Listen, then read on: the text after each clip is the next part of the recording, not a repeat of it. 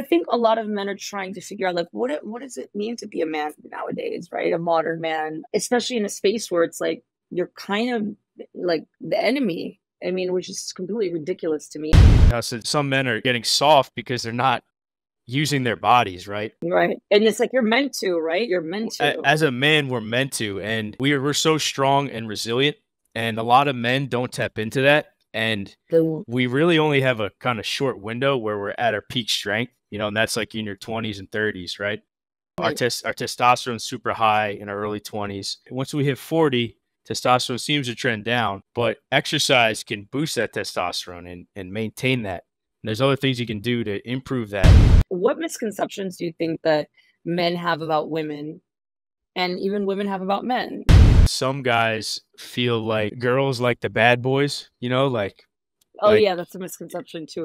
Even younger men that are dealing with erectile dysfunction, and I think it is connected to like no exercise. A lot of it, I think, like overuse of porn is also part, you know, huge part of it. Hey everyone, finally we're here with Drew McGovern. He is an amazing person and an amazing healer, physical therapist. I'll let him tell you more about what he does and what his gift to the world is. I think all of us know that it's been pretty cold and lonely for men out there in terms of just being a man and what that's created in the body for men because the body does keep the score. And, you know, it develops high levels of anxiety, depression, erectile dysfunction, even in younger men.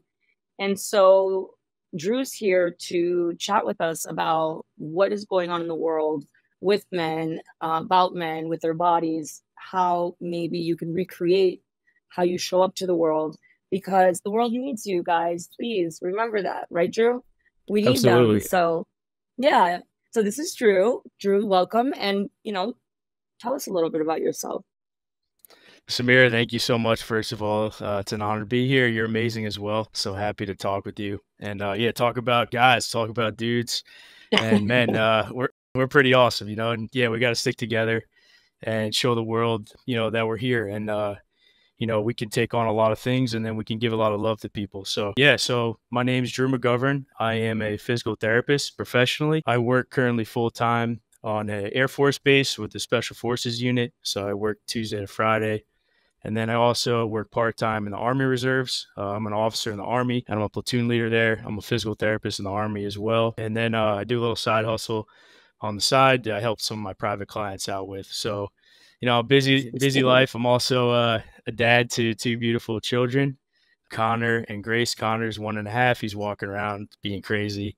Grace is uh, four years old, and she's keeping us busy. But they're beautiful kids, and my wife Teresa is amazing. She's a big support for all that I do, you know, through my time in service, you know, in the army, and just uh, holding it down at home. And is an amazing mother to uh, watch her love the, the kids and me and my and our family. It's it's amazing. I work with a lot of men at work, so uh, I have about fifty something guys that I work with, and there's only about three or four females on base. So my days are filled with guys all day and sounds like my know, days yeah yeah exactly so it's honestly the best job i've ever had currently working with the special forces they're just awesome men all around and their motto is that others may live. So mm. they really put all their focus into saving lives and saving others. And they they take their jobs very seriously. And then when they see me for physical therapy we kind of have like a human performance optimization room. So I'm, I'm part of a team with an athletic trainer and a strength coach. We're a really good team. And these guys come in whenever they want. There's no insurance. They get their treatment. They they put their bodies through a lot physically emotionally they go through a lot of stuff as well but yeah it's been a blessing to be there to help them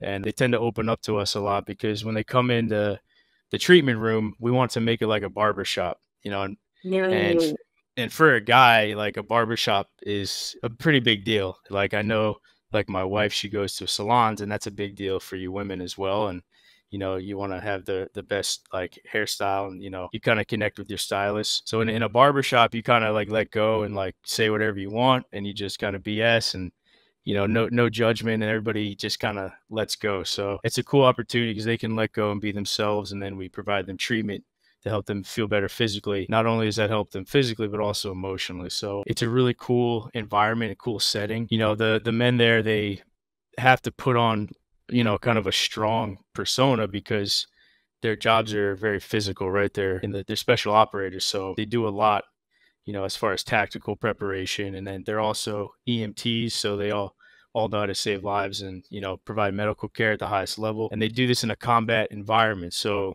you know they'll be coming mm-hmm. in on a helicopter, they'll be taking fire, they have to deploy, usually typically via parachute. They also go via boats, helicopters, airplanes, and they come in and you know they could be getting shot at actively, but they have to focus on, you know, saving whatever teammate that is on their team or that needs help. So yeah, they they just basically put their bodies on the line all the time. And the training is very intense. So, you know, you feel that in their bodies when I work on them. Mm, wow. Yeah. So, you know, I do in physical therapy, I focus a lot on manual therapy, like as you know, uh, hands on healing. And what is I the difference a... again? I know I always ask you this question because there's not a lot of people that do what you do. Sorry for interrupting you. That do what you do in the United States specifically, like what you do in terms of having helping the body heal itself and right. getting rid of those because I'm guessing these guys have really high levels of cortisol in their body with yep. all of this high anxiety demanding training as well as when they're actually on the job, right? So, can you tell us a little bit about the whole manual thing? Because I know I always ask you questions about that. And, uh, yeah, absolutely. It's, so interesting. Yeah. Yeah, I'll try to tell you my story. If I'm talking too much, just interrupt me. You know, let me no, know. No, no, uh, no. You're stay, stay on track. Want, yeah. Yeah, no, I yeah. just don't want to forget. Like, like yeah, for sure. Saying things, and I'm like, wait a second. Yeah, that that's so important yeah. because if these guys, I look at it like this, right? How can our audience relate? To other men and what we're talking about and you especially also because you balance like so much and you still have such great energy that you give off and that you like love but yet you're also super masculine in a really like safe way as a person as a woman you know i'm sure like your wife and your kids and other people around you your patients all feel that from you because it's very obvious. So when you're with these guys they kind of finally are able to like disarm you know, pun intended, I guess, yeah. with you. and so, and their bodies must be full of stress, which I feel like so many men out there are just walking around full of anxiety. And, you know, what can you share? Like these guys have it. I'm sure you we've all dealt with it. Like, does your work, yeah. you know, helped out? Absolutely. So going back to the manual therapy, kind of how I got into manual therapy. I went to Quinnipiac University. It's a PT school in Connecticut, Hamden, Connecticut. And it's an accelerated program, six and a half years. And on your last semester, you're given the opportunity to basically pick a course that you want, an elective course. So my electives that were presented were something called Mulligan, which is a type of manual therapy, and then this other course called osteopathic manual therapy and I had no idea what it was. And I was pretty intrigued by it. When we walked into class, the professor basically called up a student, it was a female, and he brought her to the front of the class and she laid on a table and she kind of put his hands on her very gently near her feet. And he wasn't saying anything, he was just examining her.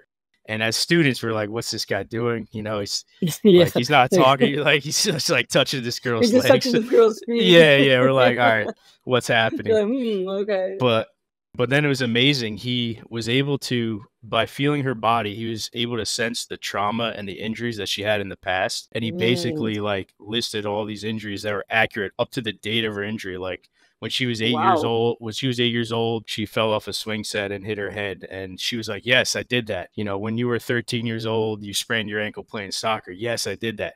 And we were like this is this is like magic. Like what what is he doing? So anyways it was yeah. emotional for her. She ended up crying because he kind of went through her body and felt this tension. So immediately i was very yeah, intrigued and i was very interested right? So then fast forward right. a couple weeks later in college i played rugby. And rugby's a very physical sport so a lot of tackling, very physical. I was uh, in the front line, which is basically where you, you, tackle. It's called a hooker. So I was in the middle, and every time you engage, you know, your your neck's getting hurt, your shoulder. So I was getting injured a lot. And on one tackle, I tackled this guy head on, and one of my vertebrae basically dislocated, and to the point where I was unable to, to turn my neck and I was in a lot of pain. So I went to this professor of the osteopathic manual therapy and he said, Drew, sit on the table. So he had me sit on the table and he had his hand on my head and was just like, here, push here, push here, very gently. and then I could I could feel my spine align, and I was able to turn my head fully, no pain. So at this moment, I was like, I want to know what this guy knows, right? So, right. long story short, I took a lot of interest in this course. I did really well. At the end of the course, he said, Hey, I think you have a good skill set. Do you want to work for me? So that was the, I said, Yeah, absolutely. So that was my first job out of school. There were other cool connections. This guy, Stephen Moran is his name. He works out of Columbia, Connecticut, Crossroads Physical Therapy. So, anyways, uh, my wife Teresa, she also worked with me with that job. So we both worked together at this clinic.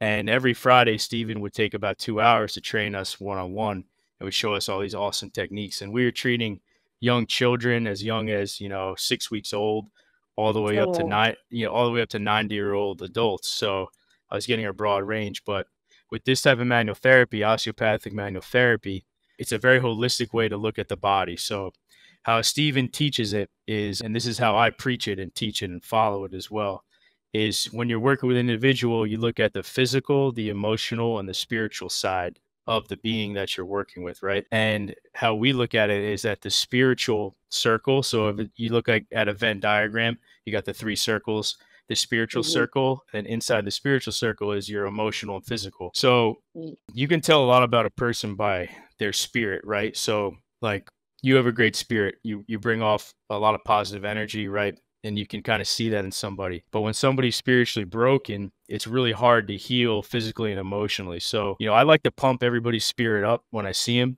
And that could be like connecting with them and what they like to do. Like, what's your hobby, right? Like, you know, like you like to travel. I like talking to you about your travels. Mm-hmm. Some people find spiritual strength through religion, right? We could go into onto that realm, but it's really like what makes your spirit thrive. You know, is it being with people, you know, whatever. So, anyways, that's something I kind of hint on with everybody because right. it's so important to boost their spirit up so they can feel better emotionally and physically, right? So, the the cool thing about osteopathic manual therapy is when you work with somebody's body and you tap into it and you focus, you can feel where there's restriction. The most common areas that I find in people that are stressed, high stress, high anxiety, usually in their neck and their upper traps. Um, a lot of people you know, work at desks nowadays and the neck holds a lot of tension, right? The neck's really important for us anatomically and physiologically because it houses a lot of our cranial nerves. So our cranial nerves are important for a lot of emotional and social engagement, right? So our facial nerve we use to smile, to cry, to laugh, you know, to talk. Right now we're, we're, we're talking. There's also other important cranial nerves that have to do with hearing, and taste and touch and, and all this, right? So these nerves are housed in their upper neck. So a lot of times when people are tight around the base of their skull or their neck, usually their cranial mm-hmm. nerves get a little more jazzed up. So you feel like a sympathetic overdrive.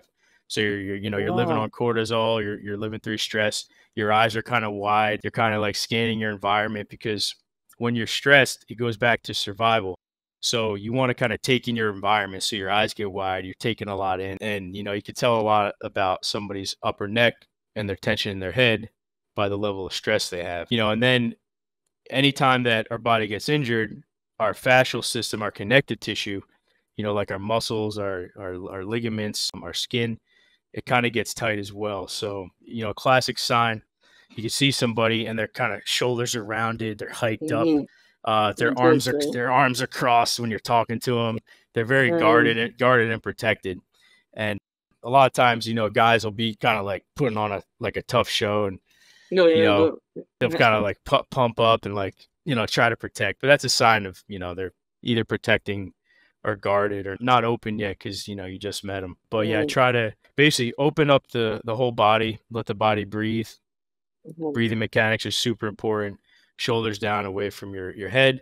It kind of opens up the blood flow into your head and neck, and you think more clearly, and then you feel a lot more relaxed. So there's a ton I do as far as like hands-on work, a lot of different techniques. You know, the one thing that's cool that I learned, something called craniosacral therapy. Oh my God, yes, and you did that to me the other day. That for the first time. Was that the first time that you? Th- that yeah, that was one of the first times we kind of did a longer like time of that type of treatment. Okay. Yeah. Um, wow. Um, and it was a relaxed. How'd it was you... like completely, yeah. I, I it was very relaxing, and and it, but it, it was like on another level relaxing because I'm usually always very relaxed on the table. And then as you're working through things and kind of realigning and opening things up, obviously, like, you know, we're having a conversation or whatever. And but this was like something completely different that I hadn't experienced before. Yeah. So when you do craniosacral therapy, you're trying to find a balance mostly with the parasympathetic nervous system. So, quick rundown of that for everybody out there. You have your autonomic nervous system, which is your central nervous system that governs everything. So, think about your brain and your spinal cord. That's the central nervous system. And then there's nerves that branch out from your your CNS, your spinal cord, your brain there's two two sections of your autonomic nervous system. You have your parasympathetic, which uh, layman's terms is you're resting and digesting well. All right, so rest and digest, parasympathetic. Then your sympathetic is fight or flight. Let's go. I'm ready. Let's go. Let's fight. You know, bring it on. Mm-hmm. All right. Right. So right, right. most I'm of people, danger. I'm, like in, I'm danger. in danger. Yeah, right. help me. Alarm you know, bells. I'm, I'm not yeah. sleeping well. I'm anxious. I have depression. You know, so most people live in that sympathetic state. And the cool thing about craniosacral is you tap into the parasympathetic. And mm. craniosacral, the word, the head and the sacrum. So the parasympathetic nervous system lives mostly in the cranium region, which I talked about the cranial nerves, and then your sacral sacrum region, which is where your sacral plexus is. So those are really important nerves down there. So basically how it's taught is your head and your sacrum communicate with each other. All right. So as we breathe in during inhalation, our head tips back and our sacrum tips down. So it goes into something called flexion. So the head and the sacrum do this, all right? And then when you exhale, they do the opposite. And there's this mm. cool kind of pumping mechanism that happens from your tailbone all the way up to your head. And it pumps cerebral spinal fluid, which is basically the lubrication. It's a beautiful, untouched fluid in our body that gets pumped out from our brain all the way through our spinal cord. And I think I mentioned this to you in the session. They studied this release of cerebral spinal fluid, and they're showing that people that are anxious or depressed, their cycles, normal cycles of this production of fluid, should be six to 12 times a minute. And people that are anxious or depressed, they're looking at like four, less than six times a minute. So it's very slow and kind of groggy and depressed. So you want that rhythm to increase so you're getting good nutrients, you know, into your brain your spinal cord. But yeah, like you said, it's very relaxing. I've done it on, you know, professional athletes through the military and the guys that are high stress, they get off the table, they're like, dude, like I feel like I'm tripping. Like, what what did you I do? Want more. yeah, I want more. They feel like they want to sleep, right? And that's a really good sign Mm, because they're they're mm. shifting out of that stressful state. They're calming down they're breathing better and their bodies feel more open and relaxed. So I found really profound results from doing that. And, you know, I can tell pretty quickly by touching someone if they need it, you know? So That's crazy how you can just Yeah. touch the body and see. I mean, I feel like we we we're so blessed that people allow us. Like I feel like that with my clients when they share things, intimate things about their life. I feel like, wow, thank you for trusting me and for sharing. And I guess I'm guessing for you it's the same because you know you deal with people and what they're dealing with and how it's held in the body and how to and you help them release it. So they build a bond with you as well. And it's I just feel like a, it's a gift that people allow us to do that. Would you say that because I mean it is incredible if someone maybe doesn't have access to someone like you or what is something that they can do at home or to kind of get that spinal fluid flowing better before they're able to maybe see someone who can a practitioner or someone who could actually assist them with that yeah, is there anything they can do on their own Absolutely. There's a cool uh, technique. It's called the melt method, M E L T. Pretty simple. All you need is a foam roller. Foam rollers are pretty common nowadays. And if you don't have a foam roller, you just use the floor, or you could use like a bath towel, roll it up, you know, kind of long ways. And you're going to lay on that on the floor on your spine. And just that little pressure of the towel or the foam roller on your spine, that's going to Mm. tap into the nerves around the spine because our body's designed really cool in a really cool way. So the sensory nerves, so what we feel and like we feel temperature and a breeze and, and pressure, that typically comes from the backside of our spinal cord. So it's called the dorsal Ooh. horns, all right?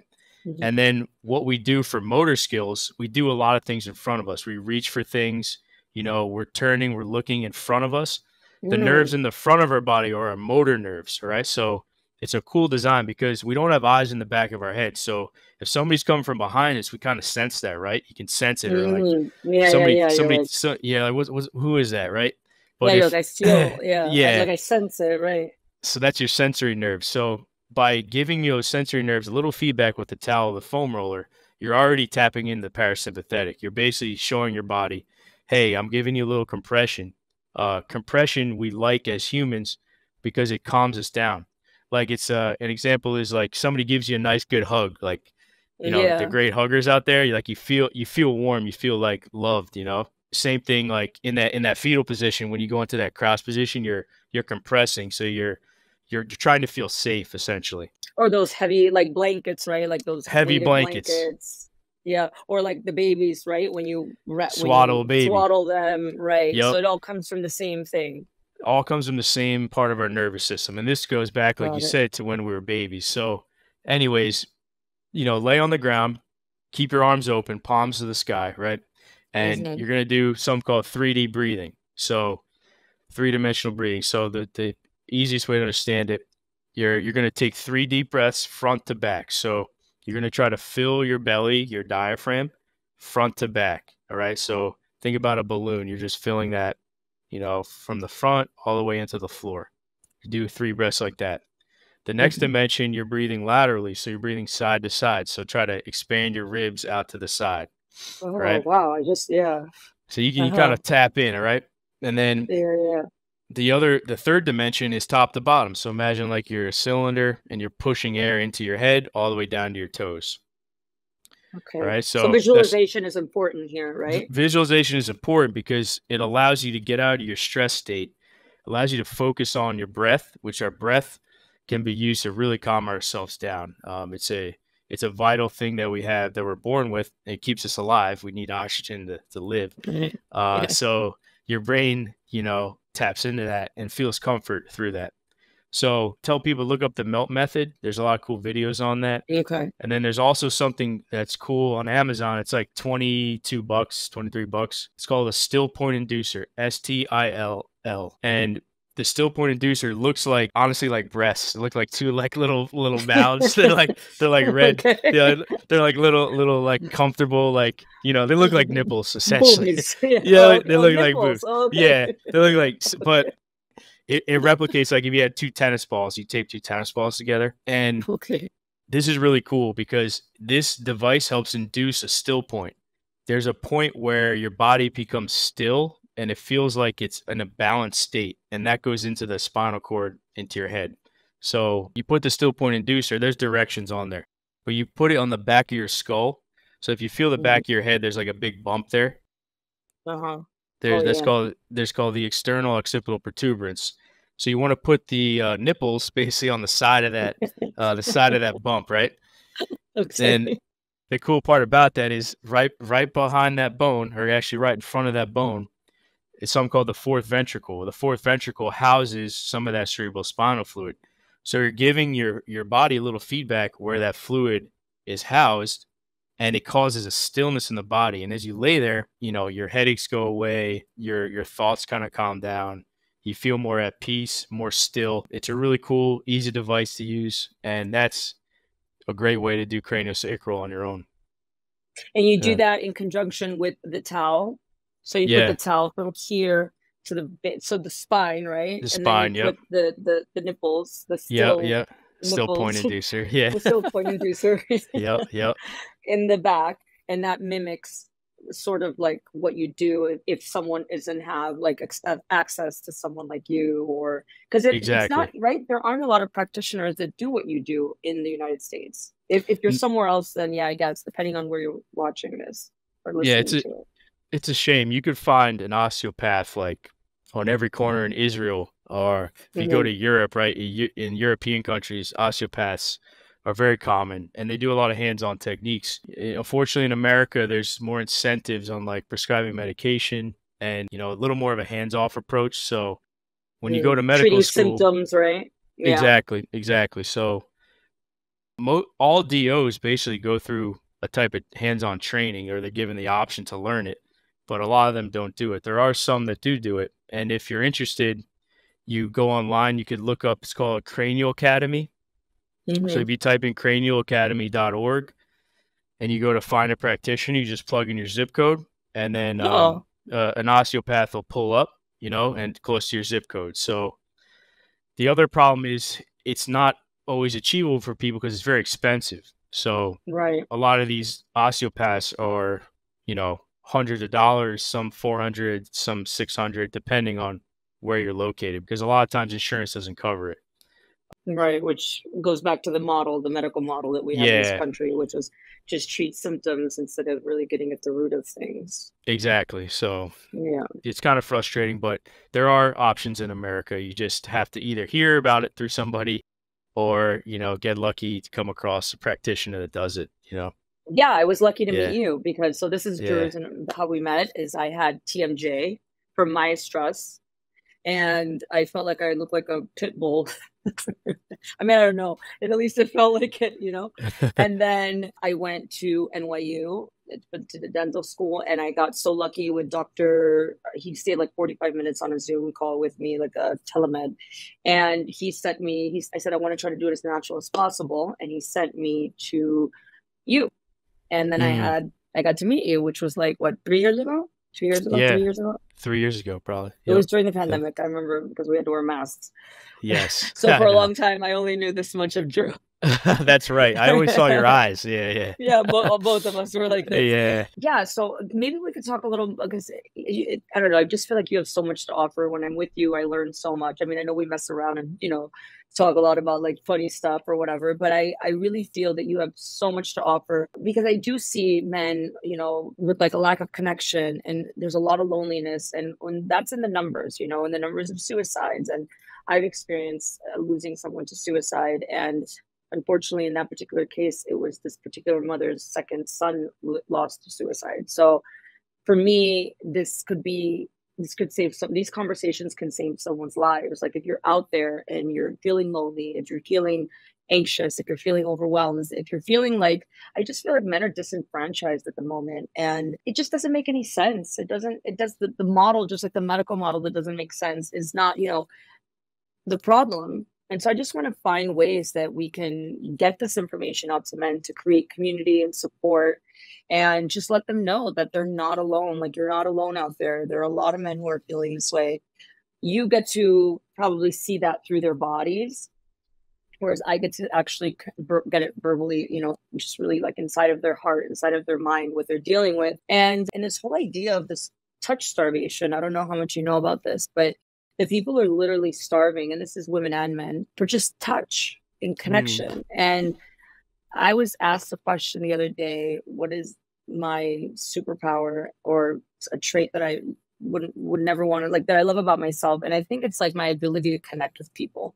I think it's brought me so much joy and so much love and just just so many beautiful experiences because I'm able to connect with people. And I'm wondering if you have any particular because you're really good at that too, Drew. Hmm, you really are. Like you have you. a way of making people feel really comfortable right away.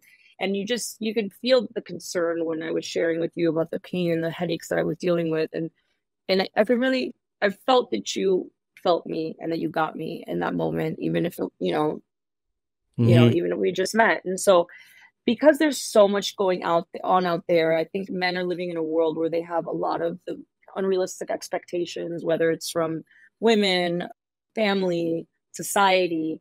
And I think a lot of men are just muted and not able to self express themselves. And all of that leads to a lack of connection.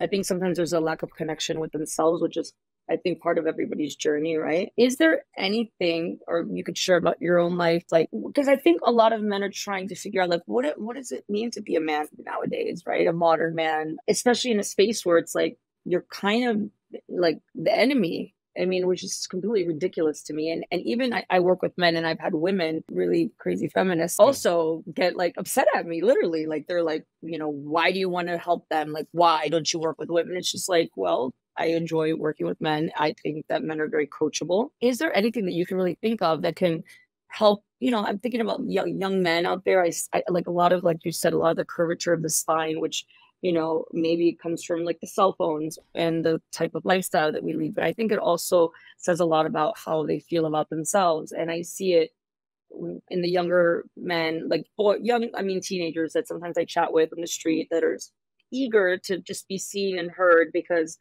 I think I read somewhere like the worst thing to be is like a group of teenage boys because everybody's assuming that you're up to no good.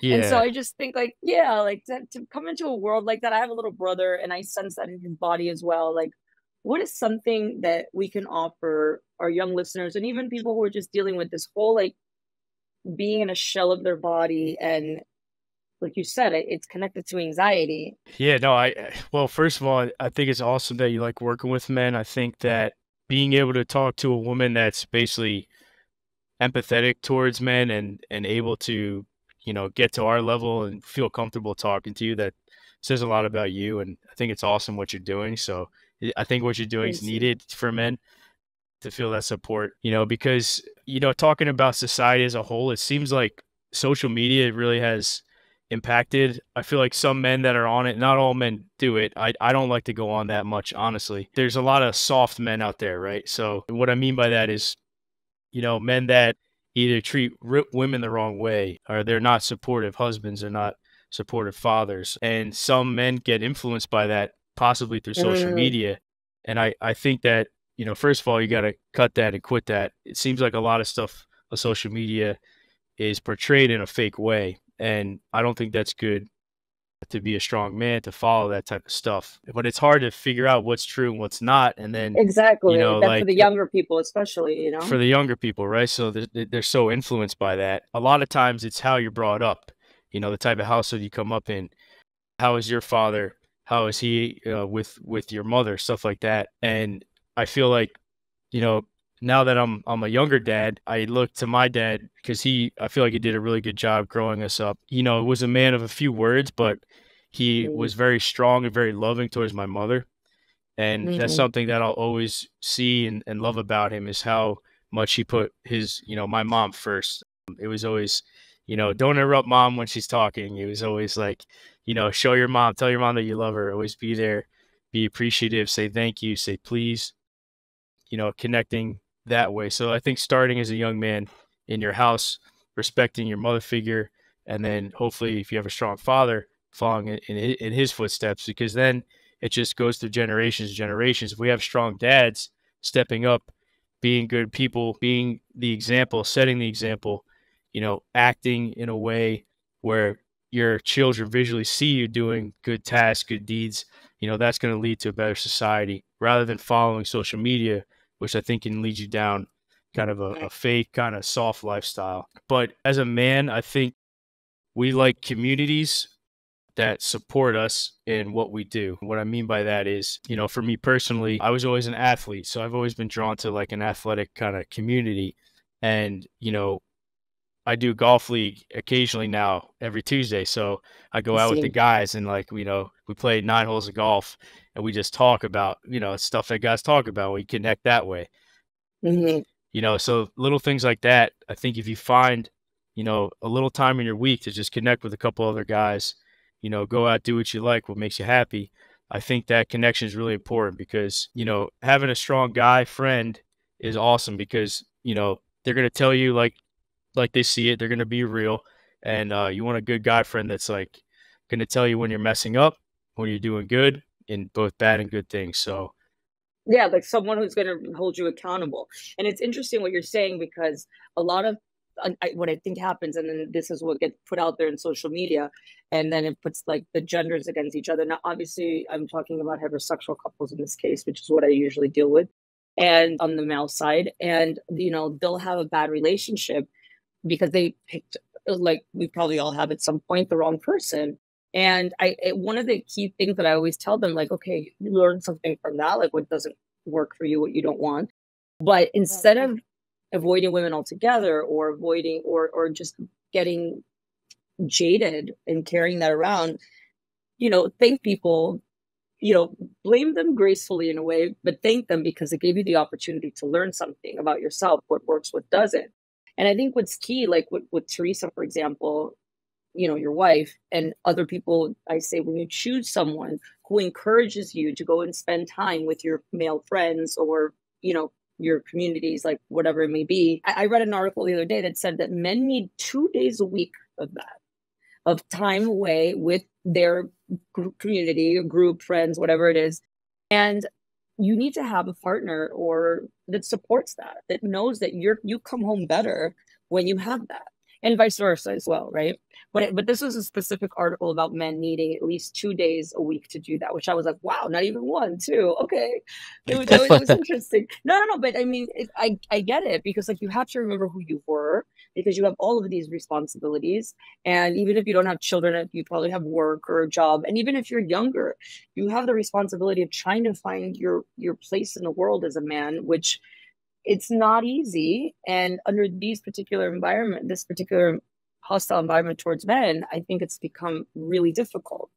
And I sense it in, in when I see men's body language. You know, I read a lot of body language when I and the things that they say and and I just realize that it's tough. So I think a supportive partner is key. And so it, to like to do what you said, to be able to go out a couple days a week or at least once and just be yourself and just be supported by other men and just shoot the shit and have fun and whatever, you know? Absolutely. Like like you said, like a supportive partner is key. Like Teresa will know, and I'll ask her, like, "Hey, babe, I just gotta go work out for like thirty minutes because I just, you know, I just need yeah. that because working out for me is really important. It clears my head. It makes me feel like myself.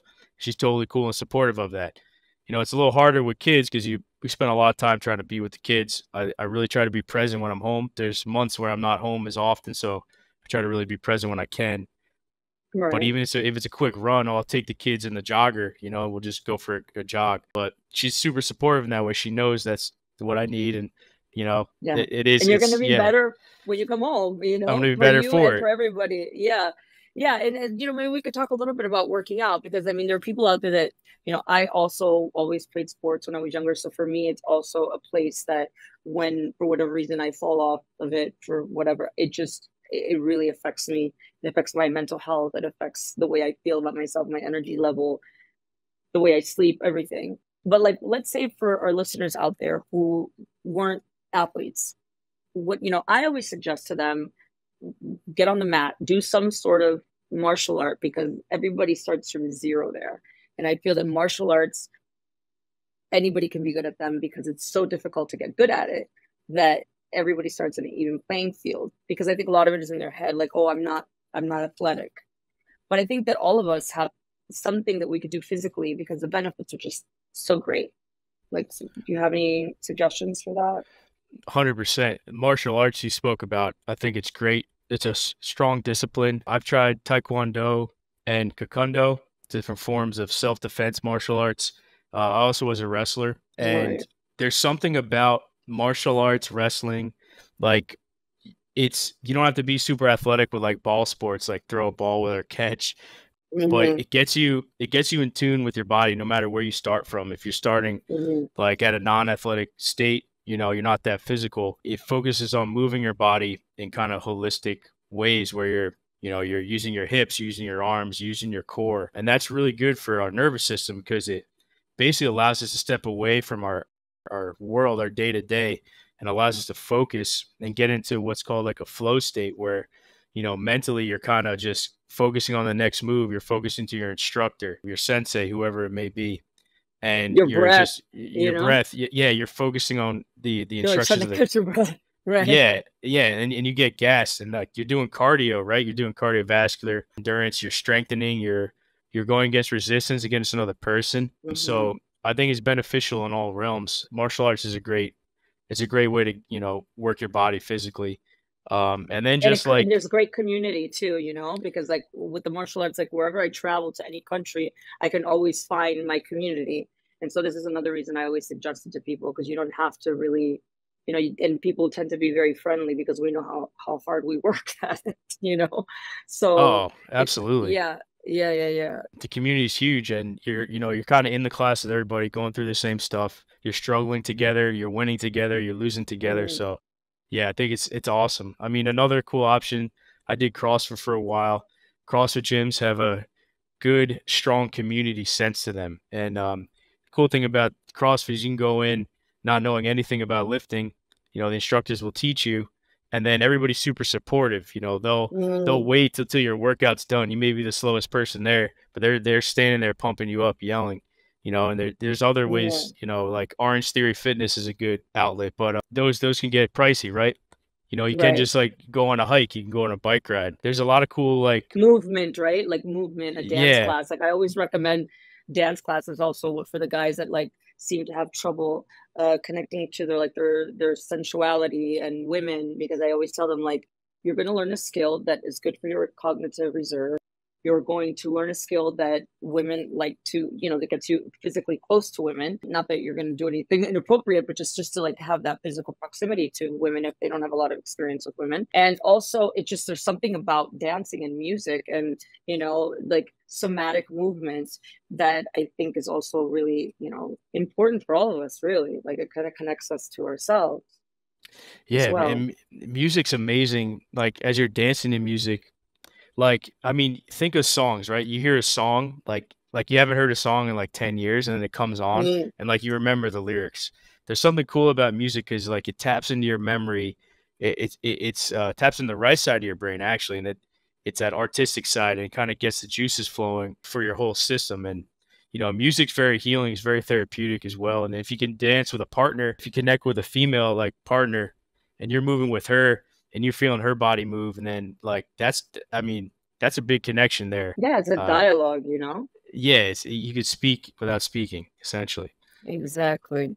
So yeah, I think I'm a big supporter of fitness.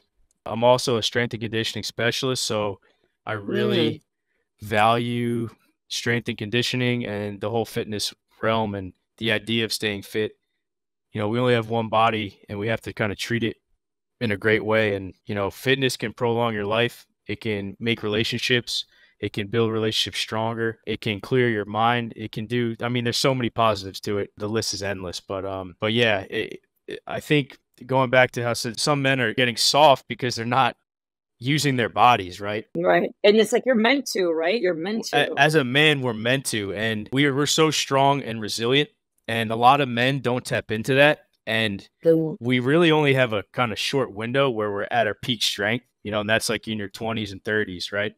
right. Our, tes- our testosterone's super high in our early 20s. Once we hit 40, testosterone seems to trend down, but exercise can boost that testosterone and, and maintain that. And there's other things you can do to improve that. But this comes up a lot in the uh, military world. The men I deal mm. with, a lot of them are mm. concerned about the testosterone levels. So I'm knowledgeable in that. A lot of them want to get tested to see where their testosterone's at. And they're also very competitive. So mm. if some share like, hey, my number was this, well, my number was that, and they'll be like, if, oh, if, okay. if their number was higher, you know, it's like a competitive thing, but they compete about everything. And that's just kind of the, the nature of it. Going back to testosterone, like in your 20s and 30s, you should try try to use your body to the fullest. Like put it through the ringer. Like you know, try a marathon, try different races, you know, try different competitions, because at that point, as a man, our body, eh, our bodies are capable a lot more than we think they are, and we can put our mm. bodies through a lot, and that's that's a lot of mental strength as well. Right, it builds resilience and all this. Because what I get a lot of is like a lot of men who are not very resilient. Yeah, and and any little setback or someone doesn't ghost them or someone doesn't talk to them or someone and it's like it's the it just seems to be so impactful. And i don't know i i mean i've been through a lot in my life so i just look at that like really? Like is it really? I mean of course i'm supportive but i i you know i push them to build resilience through failure and rejection which is like for some people it's just like they would rather not date than to be rejected. And it's like you know so I, I feel like yeah the resilience is low the the, the, there's a lot of passive men out there and i just don't feel like that's your nature naturally. Of course there are men who are more competitive than others and and whatever but i think in general even the most le- least competitive man or whatever and i don't like to get into that alpha and all that crap i think it's bullshit. And yeah. I, I i yeah I, I i think you and i've spoken about that before right? Like mm-hmm. i just i don't like when they say oh but the alpha i'm like listen labels don't work. You are your your own person. The reality is that yes, some of us might lean towards something or some way or you know, personality wise or whatever, but we can create our personality any way we want. You know, this idea that you're born like a specific thing, I think it's just an easy way not to really put in the hard work, you know? Like David Goggins says, right? Stay hard. the whole thing. Yeah, yeah. Him. His book was yeah. amazing. Like he went through so much shit. And I feel like, yeah, like you said, people are not tapping into the resources. And I'm seeing it, like I said, with these men who are just so passive and you know they're mit- trying to mitigate risk in every situation instead of just putting themselves out there is there anything that you can suggest aside from definitely pushing their body physically even if they've never worked out or if they are you know if they have worked out or they played sports maybe going back to it would help a lot with anxiety and, and like you said mental clarity and and just like i feel like it, when you're working out like you you get organized with everything else like you, it, it helps you accomplish things. Not that you can accomplish things with when you're not working out. Of course, people do that all the time, but there's this powerful feeling that comes with it when you're also taking care of your body. Oh, absolutely. I think that especially because people, men, women in general, we're getting more sedentary, it seems like. And the one thing, the one form of exercise that seems to basically boost confidence, make you a little more resilient, get you ready for your day, get you more focused at work is getting your heart rate up, right? So cardiovascular endurance. So, you know, going for a run, going for a high speed walk, you know, you want to try to, you know, our, our government actually recommends to do five days a week, 30 minutes a day of moderate to high intensity exercise. All right? mm-hmm. And mm-hmm. it's cool. Not, not, not all people know that, but that's a good kind of standard to go by. Like, if you get outside 30 minutes a day or inside or hop on a bike and get your heart rate up above like basically an easy calculation if you take 220 minus your age, that's your max heart rate. Okay. okay. And then if you take if you take your max heart rate and you take about 70, 60, 60 to 70% of that, try to push your heart rate up to that percentage. Oh, okay. I, I guarantee you're going to feel more clarity mentally. You're going to feel more like yourself. You're not going to feel as anxious, depressed.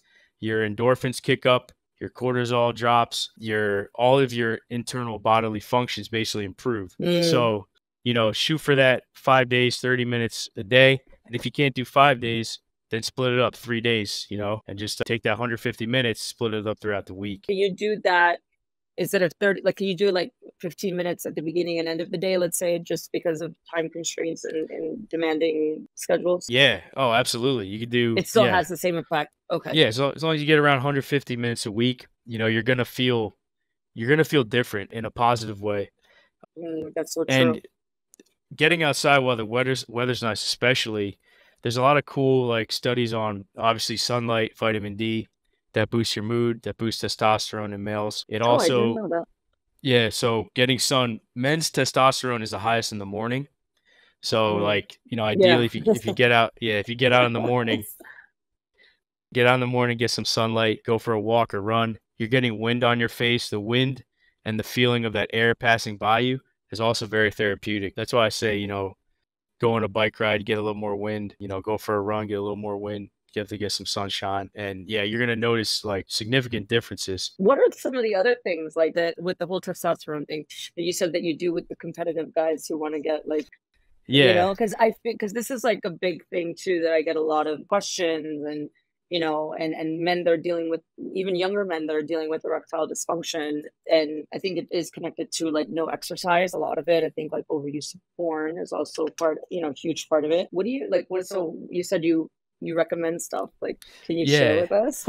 Absolutely absolutely. So the the main ones i typically recommend one good way is a cold plunge or cold water on your body. So you know if you don't have like a, a submergent tank or you know access to a place that has it just take a cold shower all right so there's a lot of good studies on reducing your core body temperature. After that your testosterone boosts up your internal body mm. temperature heats up naturally. So studies for cold water submersion or cold water exposure, it says about 3 mm-hmm. minutes at a time for 4 days a week, so that's about what's 12 minutes a week of some type of cold water exposure or submersion. So everybody typically has uh, access to a shower, right? So right, go in yeah, your go go in your shower and it's going to be not that enjoyable.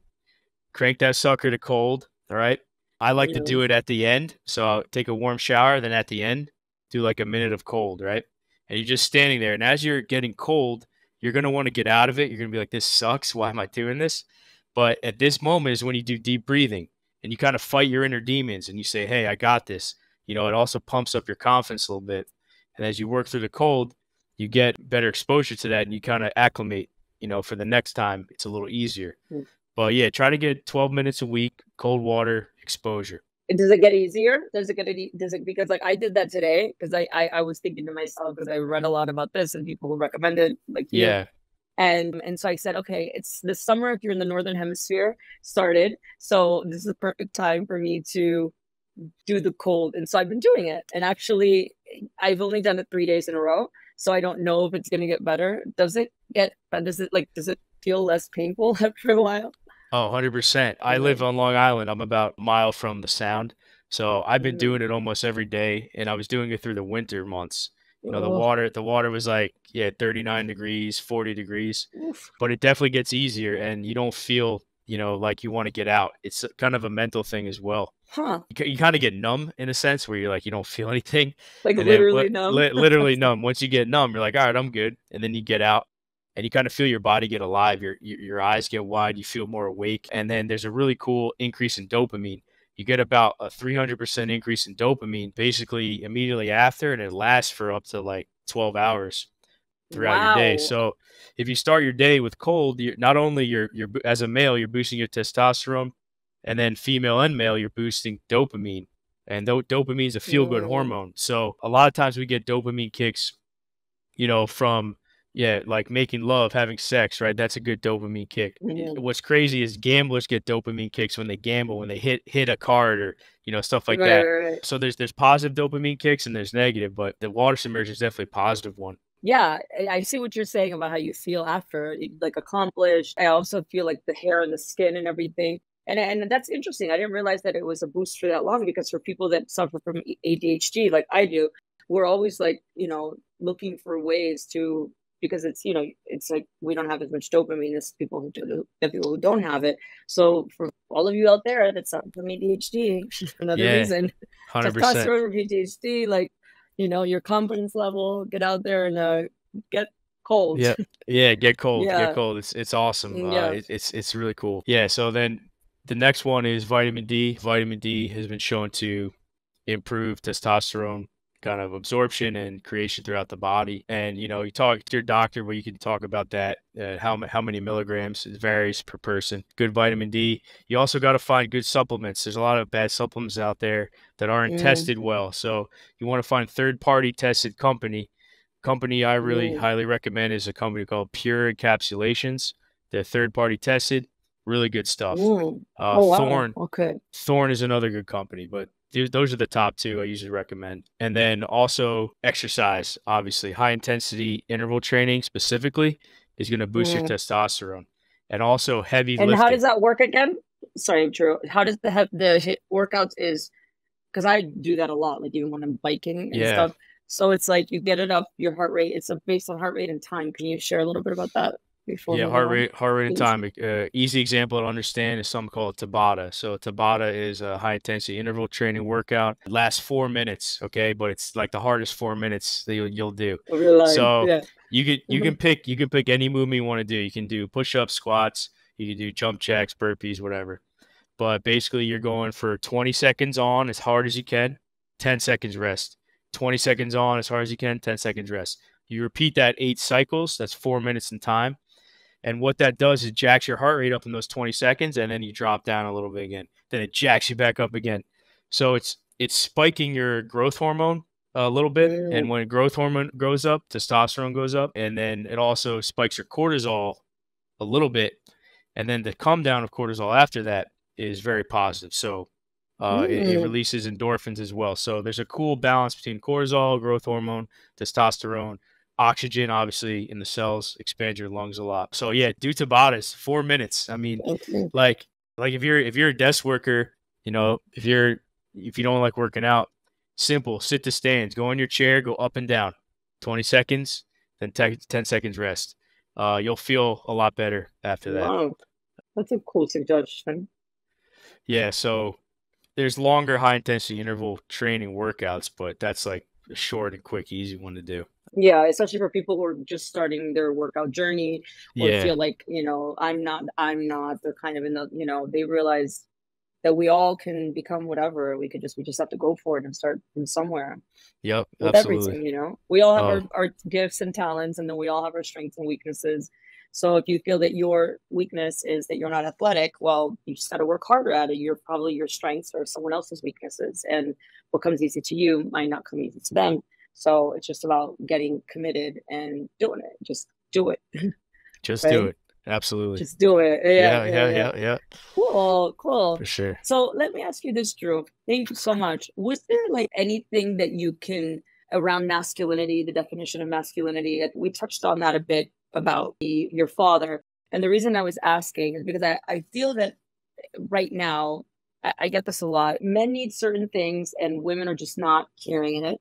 And women need certain things, but men are just like believing that no, that's not what it is. It's really something else. And it could be about in the communication, it could be like a lot of men think that women only want men that look a certain way, who have a certain kind of body, a certain, you know, bank account, a certain social status. But for those people out there that really, for those men out there who really truly believe that the only way they're going to be desired and wanted or find a partner or how they, why they should get out there and try is going to be if they have all of these things that I just described, right? I don't believe that because I know that's definitely not the case as a woman. I know that that's definitely not the case. There are reasons why some of those things could hold true in our programming just to survive as a species. What misconceptions do you think that men have about women and even women have about men around masculinity, around what it is to be a man, what it is to what what men think about women in general? Mm, yeah, I agree with you. I don't I, I I don't agree with those things you were talking about as well. I think a lot of times men, especially men that were brought up to like always respect women and be a gentleman type thing. Some men that are brought up that way like don't want to hurt a woman's feelings or they have a hard time approaching a woman because oh, she may think like my breath smells today or like, you know, I didn't put Mhm. deodorant on or she may not like or my I'm facial hair her. or, or yeah. I'm coming at her too hard, right? Because those men that try to be gentlemen sometimes are over gentlemanly like mm, they yeah. don't want to disrespect a woman. I think that all women they like it seems like most women like to be approached by a man like it who is a gentleman and who is nice and and does show empathy. Those type of men it's it's just really hard for them because they think that those women, you know, immediately are going to judge them a certain way. But I, I think that's a misconception that, you know, men have to get out of their heads. Yeah, yeah, yeah, yeah, absolutely. Yeah, Yeah, women I- are uh, looking for people like mm, humor and someone who's confident. And a lot of times, those sometimes the most confident guys don't check all those boxes that these other guys who are in their head think they have to check, right? Right, right. I mean, definitely. Yeah. But then when you try to tell men that, they, they're like, no, no, no, no, no, but this is what it is. And it's like, yeah, you're right. There are some women that only want to talk to those guys. That's that that's true. But for the most part, that's not the case, you know? Yeah. Yeah, absolutely. And what do you recommend for those guys, like that think that way, that that are the nice guy because they don't really take a more direct approach while still maintaining that they're gentlemen and Because see, that's what's really cool about you, and I'm sure Teresa would totally agree. That's why she married you. Yeah. Like you have a good balance because you're like masculine, but then you also you're a gentleman, but you're also like you have good communication skills. You you're, you have empathy, you have compassion, and you can sense that. But at the same time, you're masculine. So how do you do that? Like how does that Yeah. balance occur? Like how did you create that? maybe it stems from like my desire to want to help people like all the time. Like I always want to yeah, be empathetic towards people because everybody goes through certain things. Right. They're everybody's dealing with something in their life, and yeah, I come at every communication that I have or every every conversation kind of with empathy, and I Mm. try to be confident in a way that's like not overpowering, but it's it's like kind of comforting to somebody, you know, to, to show them that hey, I'm listening, you know, I'm a good support for you, you know, let me let me hear what you have to say. I'll try to relate to that in some in some way, so you feel a comfort, and then kind of once you break that barrier, then the current kind of opens up and then you know i just be myself i show that i have a sense of humor in a way that i think you know people tend to laugh at me a lot just because i say so I, I just say things that are on my mind and i try to be I just try to be myself, but I get laughed at a lot, but it, it's in a it's in a good way, I think. Um, yeah, yeah, because, yeah. You're just you really know, open, open, yeah, like yeah. authentic. You're very authentic. Yeah. Like I think that like inspires others. I always say like it's like your authenticity, even though you think it's going to be judged, you will be surprised. Yes, it'll be judged by a couple people, but for the most part, your authenticity will inspire others to be able to be authentic as well. Yeah, I think yeah, you nailed it. I think that's it. It's cool because, you know, when talking to somebody, you can kind of read them and understand where they're coming from, like pretty much immediately and then I try to like meet them where they're at with that. And I think that mm-hmm. you know when it comes to dating, I think that yeah, guys that want to be a gentleman, which which we all should be. I mean, you know, we yeah. we, we need to treat each other, especially women, like, you know, how they should be in a respectful way. I think that by approaching that situation that way, just breaks down barriers. It makes uh, it makes the conversation feel safe, and then you can just be yourself. And you can joke around. But I think I think humor is really important and like you don't have to be like a comedian but you have to i think make people laugh in a certain way because laughter right. obviously you know makes you feel comfortable right it disarms you know? it disarms yeah and for men I, this is what i always try to explain like even if you're in a relationship like a woman feeling safe is like our default program you know?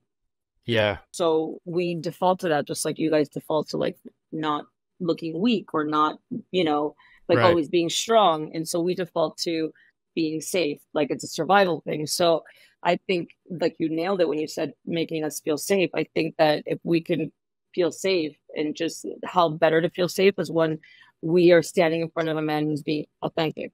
Because we know like you know instead of saying like what does this person want from me like why you know it comes from a place like oh there's something about this person that feels safe why because they're being authentic and yes. like you said humor just you know, sometimes just sharing that you went through something that you had a shitty day. How was yours? Like, you know, can get people going too because everybody goes, "Oh, good, thank you. How are you?" You know, and it's I just know, like I bullshit. Know. Like you're not always having a good day. Like just be no. honest. Like I had a tough day today.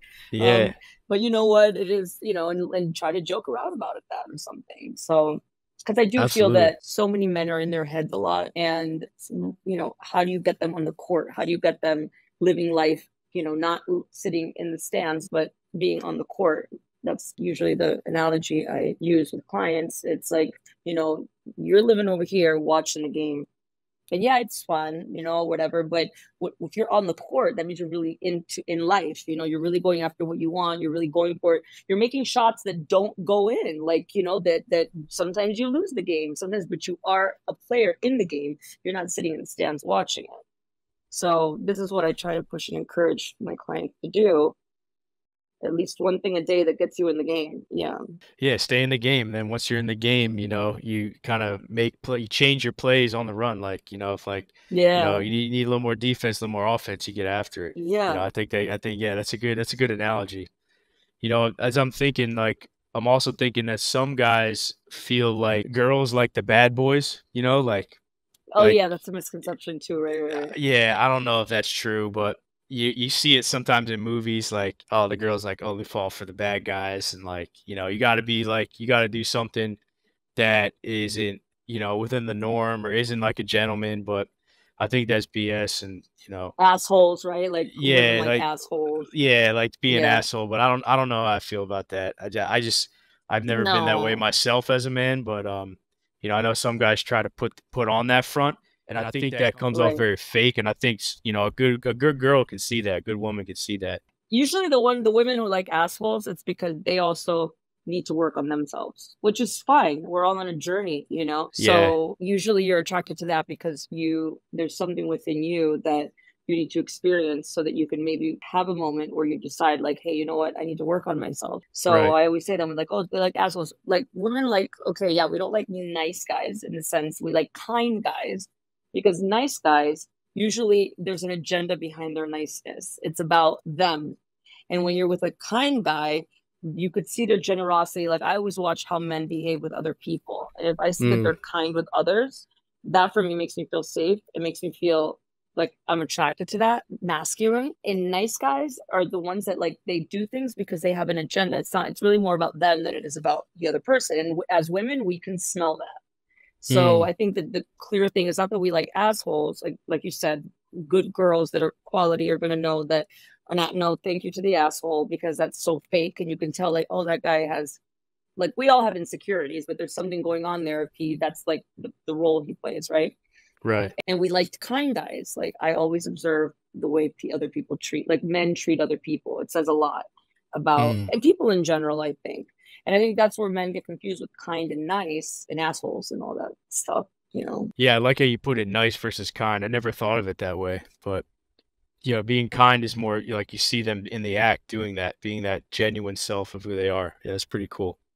That's yeah, and it's about others, you know. You're not like Yeah. like a, a guy will do something nice because he expects to get some sort of attention or some sort of whatever in return and when he doesn't get it then he might be passive aggressive you Mm, know and that's usually all based out of insecurities. But if the guy is grounded in his kindness that's why it's attractive to women and that's why because it you know it connects to the safety thing that we look look for. And also just it's like it's masculine because you're like wow this person goes out in the world and like cares about people and takes care of people which is what is really what the masculine energy that we Mm, that allows us to really be in our feminine energy. Mm, yeah. Interesting. What about women, like, as far as being attracted to men? Like, sometimes you hear, like, oh, like women like the dad bod now. And then, like, oh, women like, uh, you know, guys with six packs or like, you know, guys that are six feet tall and, and over. Like, what do you say about that or what do you know about that? Yeah, so there's actually interesting studies out there that prove that men have this ideal, like they call them chads now, of what women find attractive, right? A super chiseled face, a six pack, over six Yeah. feet, right? Physically, right? Yeah. But the reality is that, yes, while there are some women attracted to that, when they did the study, they showed that women were not necessarily as attracted, and sometimes in cases not attracted at all, to the men that men thought that they would be attracted to Mm, right? And also, women have just like men have taste, women have tastes. And for example, like I like really smart guys, right? So Mhm. I don't care the type or the, you know, the ethnic background, whatever. If someone is really intelligent, it, for me, it's it's a turn on, you know, like I like it. mm, So for some women, it's guys and glasses. They sound like weird things, but that women do like that. And I feel like if men could lean into those things more instead of wanting to be broadly attractive to what they think is broadly attractive to everyone, just lean into like your special gifts. Just like men also have weird quirks about things they like that's in certain like women, and you'll be like, "Oh, really? You like that? Like that's such a weird, you know?" And you're like, "Okay, thank you." that's a I never noticed that before about myself. But I think that men have this idea, and that goes back to what we were saying before about like what men really need, what men really want, what women really need, what women really want. And there's this huge breakdown in that communication. And we're telling you as women, like, we want someone that makes us feel good. Like, I think in general, that's people in general, right? We want people who make us feel good, who make us feel seen, who make us feel heard, who appreciate us, who, you know, who are affectionate because that connection is important as well, who, you know, are authentic because they allow us to be authentic. So lean into whatever gift that you have. And it, even if you have a dad bod, if you're a really fun, cool guy, and I know girls who have said they're attracted to dad bod. mhm, I mhm. know women say I do not like guys with muscles. I have a girlfriend that likes really skinny guys with big noses and Yeah. she's very yeah and she's very attractive. and so you will if you just yeah if you can get out of your head for a second and just get into you know what is special about me and just go with it. And what i say to women here is like don't be so stingy with your compliments ladies. Like compliment men you know men remember the compliments you give them because i like to compliment you know because i like to be complimented. But as women we're kind of used to it. Men don't really get that. And so if you do get complimented by other guys, most likely they're 100% genuine. So lean into whatever that compliment was about you and and really embrace it. And even if it sounds like counterintuitive to what you believe women like, that's not the case. And you'll find those women who are into whatever it is that your dad bod. Maybe I know girls that like bald guys. I know girls who like guys with big eyebrows. What you know, whatever. you know, Yeah. it yeah. is. At the end of the day, we like men that make us feel safe. And then we have our, you know, our little quirks about physical stuff, but voices, like some women are into like guys with vo- their voice, you know? Yeah, it's, It's a whole It's variety. Yeah. Yeah. yeah, yeah, yeah, Yeah. yeah. But the best thing is if you get out there and you can kind of just play with it, lean into it, but also connect, right? You're not going to find any of, you're not going to find those women who like your quirkiness or whatever it is that you have unless you're out there on the court connecting having conversations and i always say just have conversations like a friend like that's the best way to make a woman feel safe. Like you're just coming at her like you're having a human conversation. Hundred percent. That's funny you say that because we, my wife and I, we just had uh, we got a, had a little getaway for anniversary uh, in yeah, Florida, yeah, and you know it was just it was just Mhm. me and her with uh, with no kids, but it was awesome because it brought me back to how I see her as my best friend. You know, because we we were Mm, just talking like we did like when we started dating college, and it was awesome because we don't really have those moments much, but connecting on that level as like a best friend, it's like the easiest, like funnest, like kind of like freeing experience because you just feel like yourself. You don't have to hold anything back, you know. So I think, yeah, if you can find a good partner like that, that makes you feel like, you know, that kind of that talk to that person like you're friend brings a lot of comfort Mhm. and you know makes the conversation go better. And yeah, it, yeah, that's awesome. I think that's that's key. Yeah, it's like you wanna find someone that's like a friend and then like your partner in crime, you know? I always say this, find your partner in crime, you know? exactly, But the only way you can do that is by being yourself and being authentic and and you'll attract, right? It's for me, it's like a vibrational thing. You you know that because you're very much about energy. And I feel like when you're authentic, no matter what that is, you give off that vibe, you're gonna allow others to feel and be authentic because you open up the space for them. But then you hmm also start attracting the people who have the same kind of values as you, the views, the the the and unless you're having open and honest conversations, like how are you ever gonna find that best friend slash partner in crime? Absolutely. Yeah, because then you're not you're you're not you're holding back from who you are, and then you're not sharing, you're not accepting, you're not receiving, you know, what what the conversation should be like. Yeah, I think yeah, just being being like you said, authentic and true to yourself, and then true to that person, being empathetic and understanding where they're coming. From. That's key. Right, right, right. To Yeah, yeah, and yeah. just put the energy, good energy out there. I think like that's what you do, which I know it's draining working with people physically, you know, because you absorb their energy, I'm guessing, right? Like, do you feel Mm. depleted after a while, like working physically on people all day, or how does that work out for you? Yeah, I did when I first started the hands-on manual therapy work. Like I was seeing 20 patients a day and I was getting home at like six o'clock at night and I would basically just go to bed. I wouldn't even eat dinner. I was exhausted. And a couple weeks in, I was like, I can't do this forever. I don't know how I'm going to keep this up. And then I realized that I was taking these emotions home with me that these people were sharing with me because people share a lot when they're in pain and it gets pretty intense with some people. But Mhm, as I progress through my career, I'm coming up on 10 years doing it. I've now learned to just basically separate it. So as soon as I step out of an appointment with a patient, like I leave that patient in that room on that table, right? And with everything mhm, we said, mhm, I kind of I keep it separate. Then I move on to the next patient. And then by the end of my day after my last patient, I try to leave it all there because if I bring it home, then I'm not a good husband, I'm not a good father, I'm not a good friend because I'm taking on those emotions. It can be heavy on the heart but you can't block it all. You definitely feel exhausted. Still do some days, but it's because I'm doing right, manual work. I'm using my hands. I'm using my body. You, we all are human, and we absorb people's mm, emotions. And because I tap into the energy, I'm giving my energy to them. I'm also listening right, to their energy. So it's a real thing. But I'm definitely more. Uh, I, I can do this for a long more, a lot more time because of the techniques that I change. I change the way I use my body, and I change the way that I kind of put up a wall when it comes to emotions. I've had to deal with people that have told me they want to kill themselves. You know, I have that that's a really tough uh, yeah, tough session to there too. have, you know. So, there. you know, I've seen all types of emotions, but yeah, it's, like I said, we're we're both people that want to help people. It's easy for us to take that on. So we just, you know, at the end of the day, take care of yourself, you know. Right, Yeah. right, right. Yeah. And I guess that's Yeah. advice that even people who don't work with others, like in any kind of Mhm. space of, you know, healing or coaching or anything, taking care of yourself is so key.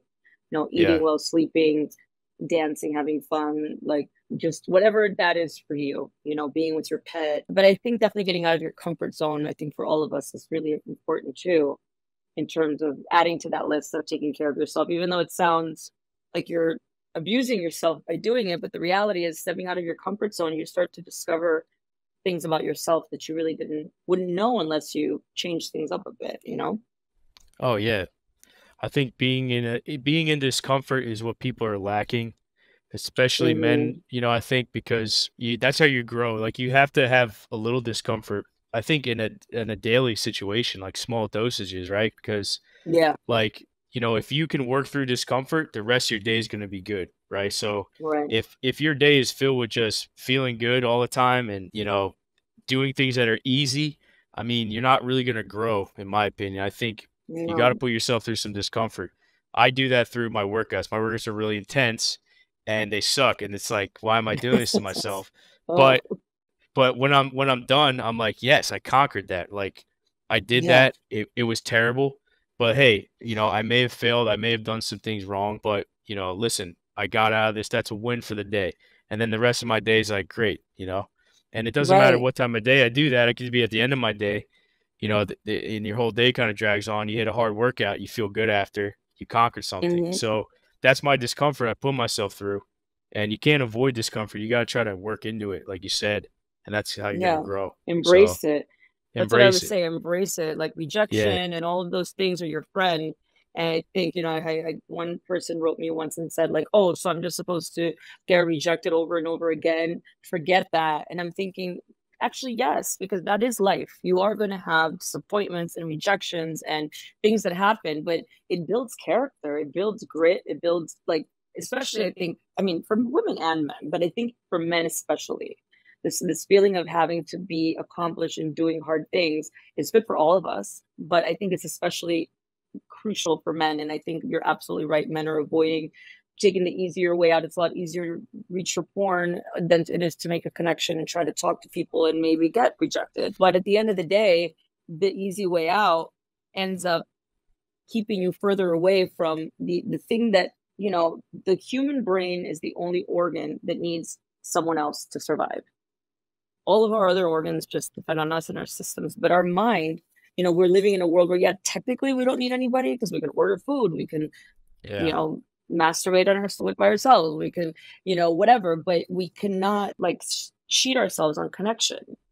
Mm. Connection is powerful, you know, and um, and I guess that's where we could close up. Is there any suggestion, since you are so amazing at connecting and your gift is giving people that through they're healing them but it's also, I think, the power of your touch and connection. Is there anything that you could suggest that would be key to make us as men and women, as men connecting to themselves, as just the world being more connected? Do you have any special magical suggestions up your sleeve. Yeah, I know, I know. Yeah, well, yeah, I'm lucky because I I do the manual therapy, hands-on work, so I'm connecting, you know, physically with people. I'm helping them heal. But yeah, not everybody can do that. You know, I think just face to face with somebody you know is is awesome meeting up with people face to face and being connected like disconnected from your phone put away distractions talk somebody look them in the eyes eye contact is really mm. important and then showing them that that that you're open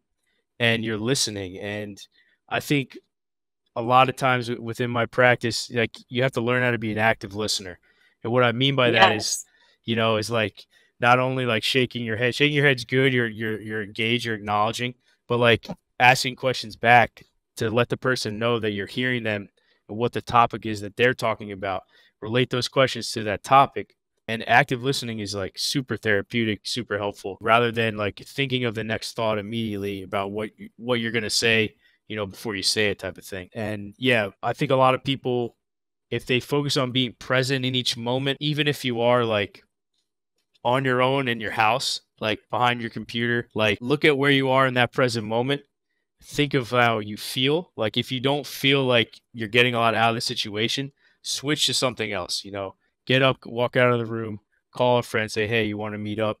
Let's meet. Let's meet face to face." And yeah, like give hugs to people that you love. You know, I think yeah. Uh, a lot a lot of people they don't look at the power of a hug or just like a handshake. You know, like mm-hmm. a good handshake, right? Don't give somebody a, a limp hand. it's just not a yeah. it's not it's not a good look for you, and then for that person, you know, they don't feel like you're engaged with them and and you're welcome. So little things like that, I guess. A smile, but, right? I always uh, say smile. Like yeah, a smile is a. I always say it's the best accessory. You know, smiles are amazing. Smile. You know. Mm-hmm. Yeah, and and we lose that I think a little bit in society because you see everybody on their phones a lot, but right. you know, try to try to step away from that. You know, I I talked to a, another younger dad. This was like when Grace was born, my daughter, and he's always on his phone a lot for his work. And one day, like we were talking, he was like, dude, I just said fuck my phone one day and I just threw it to the side because I was so disconnected and I was just like sitting there on my phone while my daughter was playing with her toys. and I just lost all connection. So, you know, I, that really stuck in my head because now I, I Mm. really I try to put my phone away when I'm with my kids, uh, because yeah, that human to human connection is so important, and we cannot lose it as a society. I think that we need to Mm. make more physical connections one on one because it's just going to create for a happier, more engaged, socially accepting, and you know, society. So yeah, I encourage people to get out face to face, good hugs, good handshakes, smile, look them in the eyes. You know, yeah, Yeah. yeah, yeah, yeah, Yeah. Instead of being yeah. guarded, I feel like so many people like, you know, an example, I was at the dentist yesterday and a girl dropped something and I, I picked it up and I handed it to her. Not that it's like I did such a great thing, but she didn't even like look in my eyes. She just went, thank you. And I thought I, I had pure pure com- compassion for her because I thought, wow, that was an opportunity. Like, not that we were going to like become best friends or anything was going to happen, but it's just like, uh, you know, someone was showing love at the moment. And I do, I'm not attached to the outcome. So I don't, I didn't get mad or first. And I just thought, wow, she's so disconnected. She was there with the phone hunched over, you know, like her spine is all like this. Yeah. And it was a moment for her to kind of step out of it. But I feel like people are so disconnected. And I, and that just led me to believe that she's, mm, and I thought, wow, she must be really disconnected to herself. And anytime that we're really disconnected to ourselves, like it's not it's not good. It's a small example. We have a moment to hold a door open for someone to to look around, and if you see an elder person struggling with the door, hold the door open, or a mother with a stroller trying to get in, or anything. Just but you can only do that if you are out there paying attention. And I think that that's what my suggestion would be. Just pay more attention, you know, and people will start paying more attention. And the the, the universe has a way of giving it back to you, to give it back to you, that energy and everything. And I just that's why I always say like connection is just so powerful. So thank you, uh, Drew. I agree 100%. Yeah, no, thank you. This has been awesome. Yeah, it's always so much fun hanging out with you. Oh yeah, it's it's just always good to talk to you. Like, you know, it's just it's easy and uh yeah, it comes from a place of love, I think, and want to help others and yeah, I think keep doing what you're doing. I think it's great. You know, it's very powerful. Other men connect with each other and with the right relationship that they're trying to find or whatever, even if it's like, you know, simple tips and advice. I think it's it's really important to know that you're out thank there. you. So, thank you for what you do. you. Yeah. Th- thank you for what Yeah. you do. Seriously. I mean, you changed my whole, you know, like I was suffering and in pain. And then on top of it, I feel like I made a new friend. And Yeah. and what you do now, I get to share with others that, you know, could benefit from it tremendously. Because I, I know I did. So thank you Oh, from the bottom of my heart. I love doing it. So, thank you. Thank you. Yep, yep. Yeah, thank you so good. much. So everyone, thank you for being here. We're gonna link all the stuff in the we'll link it below anything about, you know, exactly what the title of what Drew does, maybe a couple of the supplements. We don't have any kind of uh endorsing or anything. It's just us sharing, you know, something that could be helpful for you on your journey. And thank you. And remember, the world needs you.